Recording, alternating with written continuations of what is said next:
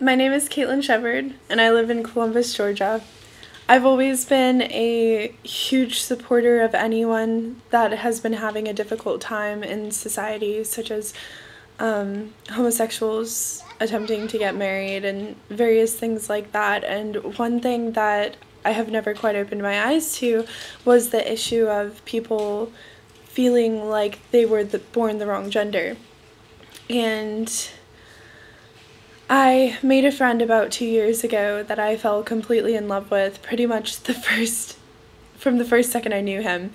And he and I were together almost every single day for six months. And he and I didn't know that we were completely smitten with each other. so we hung out recently and he told me that he did feel like a woman in a man's body and I told him that I supported him 100% and I know very well that that's not going to be the case for most of the people in his life. And so I wanted to show him that there are a lot of people in this world that will get behind him and will help him through this and that the people that don't are very real and they're very there, but they're not going to matter because there's so many people that do, and those are the people that he needs to associate with. And I wanted this not only to give him strength, but also to help him so he doesn't have to do it all alone. You know, because it's going to be expensive. It's going to be an expensive procedure, hormones, everything.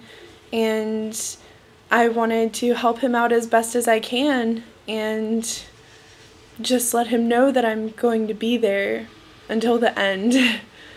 and I hope that you guys can help me do that. And I wish I had a fancy video or some kind of music playing in the background, anything like that, but I don't because I don't have that kind of resource right now.